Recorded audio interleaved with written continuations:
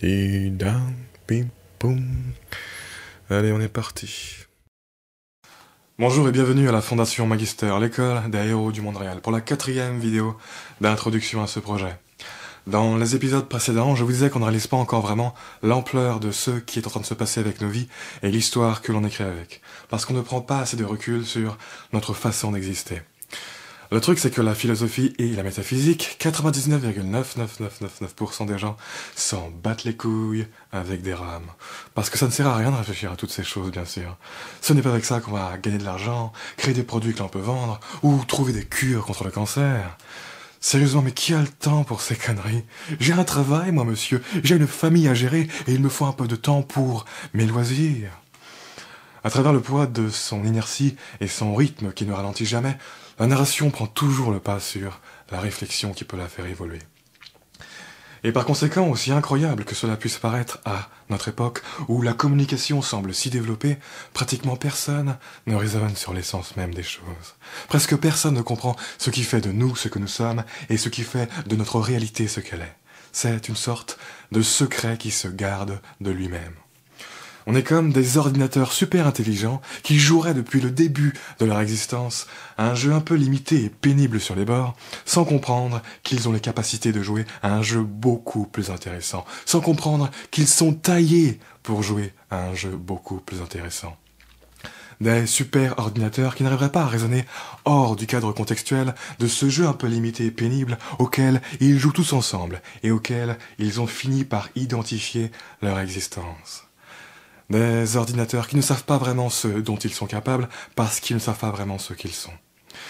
Et donc, de la même manière, perdus depuis la naissance, dans cette jungle distordue et maquillée qu'est le monde moderne, qui s'accélère, qui s'accélère, sans jamais s'arrêter, vous n'aviez jamais soupçonné que votre vie s'ancre dans un contexte cosmique qui va bien au-delà du petit contexte dans lequel notre culture se situe actuellement.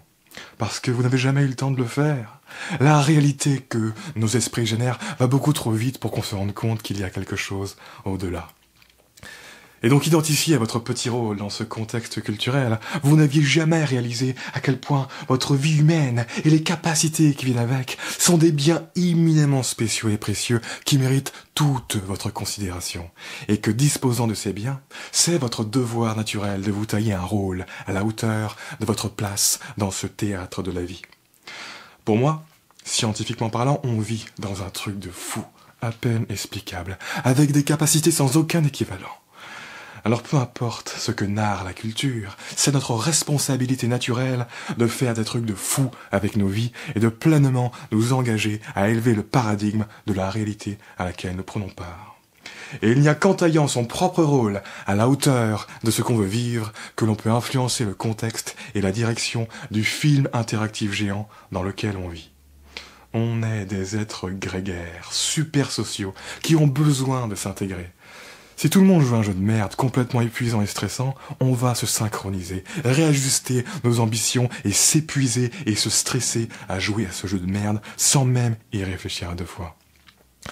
En revanche, si une personne commence à jouer à un jeu plus intéressant, plus posé, eh bien les personnes qui vont jouer avec elle vont se mettre tout naturellement à jouer à ce jeu plus intéressant. On aligne toujours inconsciemment notre existence vis-à-vis de celle des autres, pour le meilleur et pour le pire. À votre avis, pourquoi vous n'aviez jamais réalisé consciemment à quel point la vie humaine est extraordinaire quand on la considère dans le contexte cosmique dont je vous parlais dans l'épisode précédent? Tout simplement parce que votre esprit a été complètement absorbé par le contexte culturel actuel et tous ses arcs narratifs. Le contexte est quelque chose d'extrêmement happant pour nos consciences. On est tous plus ou moins pris dans la narration de ce grand film de l'humanité qui semble incontrôlable, dont le rythme s'accélère sans cesse et vis-à-vis duquel on se sent contraint d'ajuster le rôle de notre vie. Donc nos consciences se font naturellement absorber par le contexte, et le contexte de la réalité dont on fait partie semble incontrôlable. Mais non, parce que justement, on est une partie de la réalité. On est tous le contexte de quelqu'un, qui est le contexte de quelqu'un d'autre, etc., etc. Nos consciences sont comme enchaînées les unes aux autres par les forces invisibles de la culture, ce que j'appelle l'inertie culturelle. Et donc en sortant délibérément du rythme imposé par la narration culturelle, et en élevant délibérément les standards de sa propre existence, on change sensiblement la symphonie globale et on élève les standards de la réalité dans laquelle on vit. À chaque époque, l'humanité n'a que la réalité qu'elle incarne ensemble. Parce que j'aurais beau vous raconter tout ce que je veux à propos du futur de la réalité, je n'y changerai rien tout seul. Je peux juste faire ma part. Et c'est pour ça qu'il est temps qu'on se réveille et qu'on se responsabilise vis-à-vis du monde que l'on projette et de l'histoire que l'on écrit.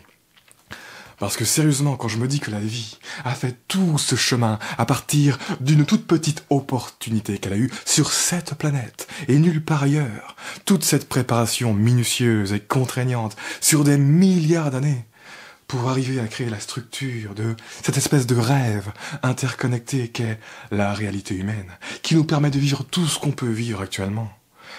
Et qu'on est en train de jouer le rôle des beaufs qui font péter le château de cartes, ou bien des empotés qui sont juste à côté du ballon, juste à côté du but. Il n'y a personne autour d'eux, ils ont le champ libre pour incarner le but du siècle et ils font quand même tout foirer parce qu'ils ne comprennent rien au jeu de la vie. Ils sont paumés. Ils ne savent même pas utiliser les deux bras qu'on leur a donnés. Ils font n'importe quoi. Ils n'ont aucun sens de la direction. On est un putain de théâtre cosmique vivant et voilà l'histoire qu'on écrit avec. Je n'arrive même pas à en comprendre son contexte parce que je crois qu'il n'y en a pas vraiment.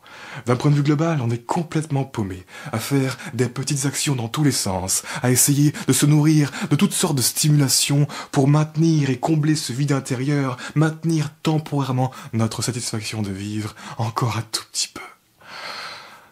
L'histoire de notre époque, elle ne ressemble vraiment pas à grand chose. Et ça me fout les boules pour la dignité humaine, ça me fout les boules.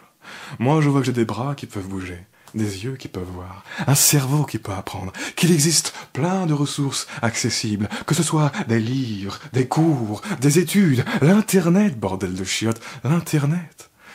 Toutes les limites que je peux avoir, toutes les choses que je n'ai pas, toutes les barrières qui sont sur mon chemin, n'enlèvent en rien le fait que tous ces moyens sont là et que j'ai la possibilité à tout moment de me bouger le derche et d'essayer d'en faire quelque chose pour me tailler une existence qui ait un sens. Et ce serait bien lâche de ne pas le faire. Parce que cette possibilité que nous offre la vie moderne, ce n'est pas rien du tout, ce n'est pas du tout anodin.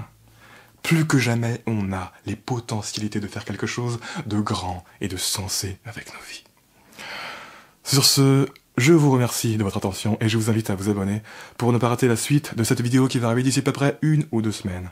En attendant, c'est ce que je vous raconte vous intéresse et vous émoustille, affirmez vos émotions et partagez cette vidéo.